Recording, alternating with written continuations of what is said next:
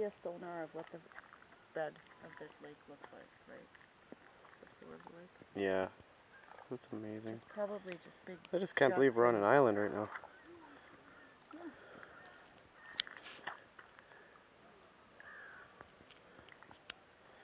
On our own little island out in the wilderness.